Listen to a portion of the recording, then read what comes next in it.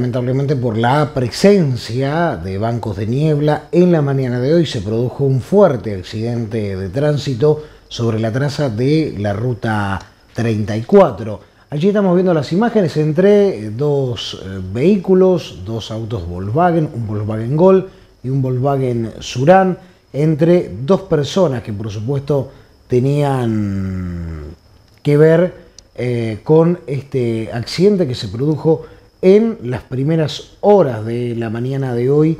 Realmente es impresionante porque terminaron colisionando de frente.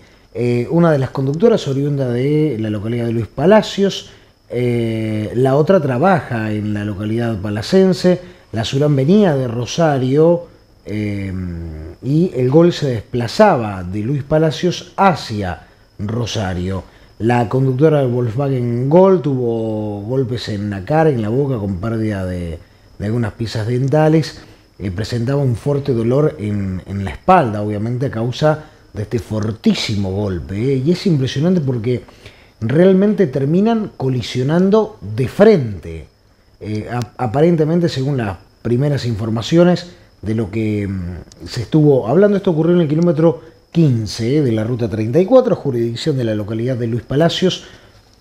Según las primeras informaciones, se trata de que eh, una de las conductoras toma una maniobra de, sobrepaso y claro, y a causa de la neblina se encuentra con el otro vehículo de frente. ¿eh?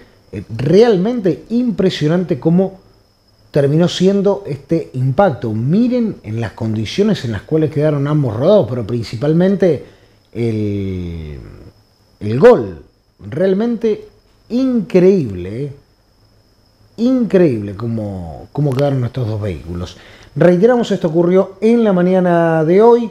Eh, fueron asistidas, por supuesto, por todos los sistemas de emergencias que rápidamente se activaron y que, por supuesto, asistieron a ambas víctimas que se desplazaban en estos vehículos.